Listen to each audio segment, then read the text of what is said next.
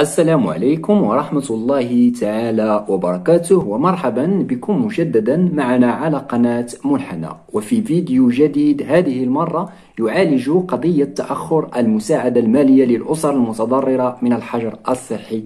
ولم تتوصل بعد بالمساعدات المالية رغم إرسالهم رقم راميد إلى 12 بالنسبة لحامل راميد وكذلك الأسر الغير حاملة لراميد والتي أدلت بتصريحاتها على موقع تضامن كوفيد بويما فالحل هو إرسال شكاية إلكترونية توضح فيها طلبك حول عدم توصلك بالمساعدة المالية. فلمعرفة كيفية تقديم هذه الشكاية وأين يمكننا تقديمها فابقوا معنا وذلك ما سوف نشرحه الآن بعد الفاصل.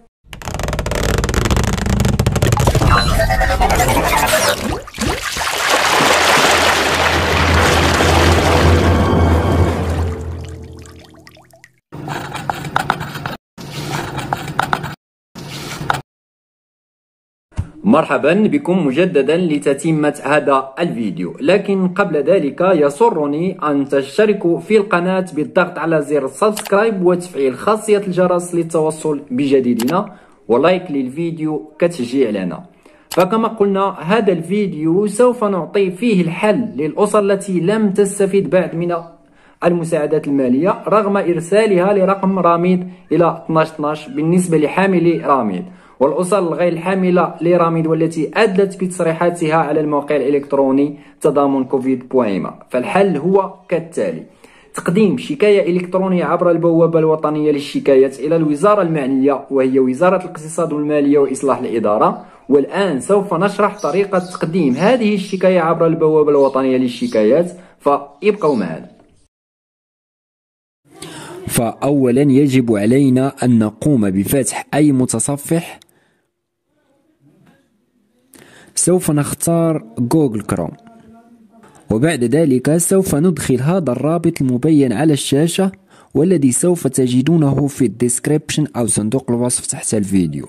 الرابط هو chikaya.ma فعند تحميل الصفحة التي تظهر أمامكم سوف ننزل إلى الأسفل قليلا. ثم نقوم بالنقر على هذه الأيقونة. تقديم شكاية. هنا يجب علينا اختيار الإدارة المعنية في هذه الحالة فالإدارة المعنية هي وزارة الاقتصاد والمالية. لن نكتب أي شيء هنا سوف ننزل قليلا. وسوف نختار وزارة الاقتصاد والمالية وإصلاح الإدارة من هذه القائمة. هنا في هذه الصفحة سوف نقوم بملء مضمون الطلب بحيث كيفما هو مبين هنا الخانات الإجبارية هي الخانات المشعة أو التي أمامها هذه النجمة بالأحمر. كل خانة أمامها هذه النجمة فهي إجبارية يجب ملؤها. فلا يمكننا المرور للصفحة الموالية إن لم يتم ملء أحد هذه الخانات الإجبارية. لكن الخانات الأخرى الغير الإجبارية التي لا توجد أمامها هذه النجمة فيمكنكم تجاوزها. سوف نمر بعجالة إذا كان ممكنا لكي لا أطيل عليكم. هنا نوع الطلب نختار شكاية. الموضوع الرئيسي نختار خدمات عامة. وفي الموضوع الفرعي نختار كذلك خدمات عامة. بالنسبة للجهة سوف نختار الجهة التي ننتمي إليها. وبعد ذلك نختار الإقليم أو العمالة. بعد ذلك نختار الجماعة التي ننتمي إليها. هنا بالنسبة للموقع آه، أي العنوان فهذه الخانة اختيارية وليست إجبارية. يمكنكم تجاوزها أو يمكنكم آه، إدخال العنوان الخاص بكم الموجود على بطاقتكم الوطنية. وهنا بالنسبة للموضوع فهو اختياري. لكننا سوف نكتب شكاية حول عدم التوصل بالمساعدة المالية لصندوق تدبير جائحة كورونا.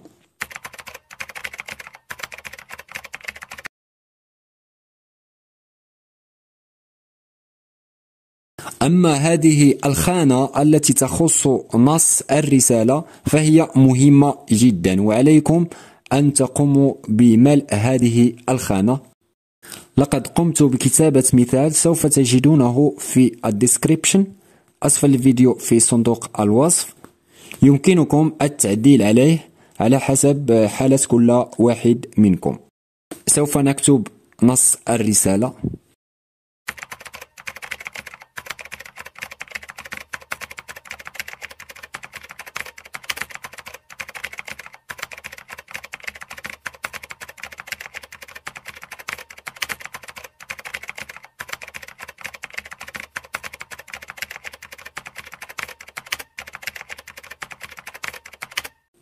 هذا فقط مثال آه، أبين لكم آه، فيه نص الرسالة لكن آه، يجب عليكم أن تقوموا بالتعديل على هذا النص على حسب حالة كل واحد منكم.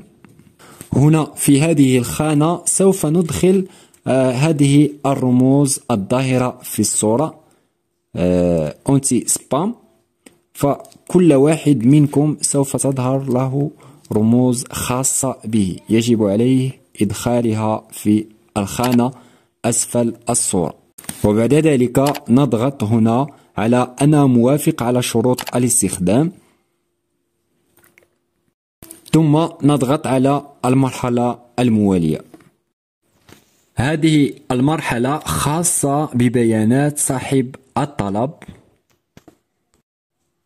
ودائما الخانات الإجبارية محددة بنجمة لا يمكننا تجاوزها. هنا في الفئة نختار مرتفق. هذه الخانة الاسم الاجتماعي آه، خاص بالأشخاص المعنويين فنحن لا يهمنا. ننتقل إلى هذه الخانة وندخل رقم البطاقة الوطنية. ثم الاسم العائلي. وبعدها الاسم الشخصي ثم الهاتف. هنا في البريد الإلكتروني أو الهاتف آه، يجب أن ندخل أحد آه، هاتين الاختيارين إما البريد الإلكتروني أو الهاتف. من الأفضل آه، أدخلوا رقم هاتفكم المحمول هكذا. بالنسبة لهذا الجزء من هذه الصفحة فهو مخصص للعنوان. بالنسبة للسطر الأول أدخلوا عنوانكم الخاص الموجود على آه، بطاقتكم الوطنية. هنا آه، العنوان آه، في السطر الثاني إذا لم تكون هذه الخانة كافية.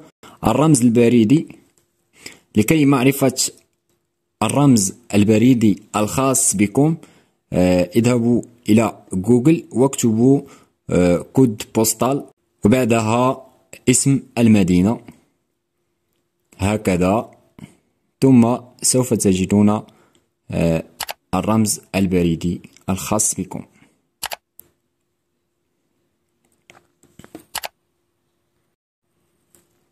هنا ندخل المدينة أو القرية وبعدها الدولة. وبعد ذلك نضغط هنا على المرحلة الموالية.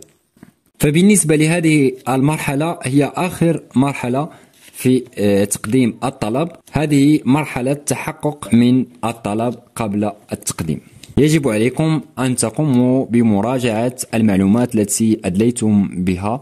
قبل التأكيد على الطلب. ولديكم إمكانية التعديل على الطلب بالضغط على التعديل. فعند الرجوع بكم إلى آه، صفحة التعديل آه، يمكنكم تعديل المعلومات التي أخطأتم فيها. وبعد ذلك قوموا بالضغط على المرحلة الموالية. هكذا.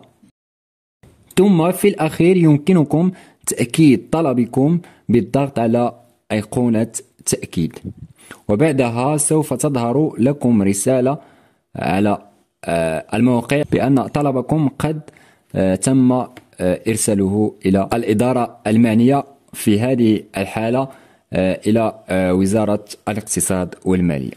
إلى هنا نقول لكم شكرا على المتابعة ونضرب لكم موعدا في فيديو قادم إن شاء الله ولا تبخلوا علينا. بالاشتراك في القناة بالضغط على زر subscribe وتفعيل خاصية الجرس للتواصل بجديدنا.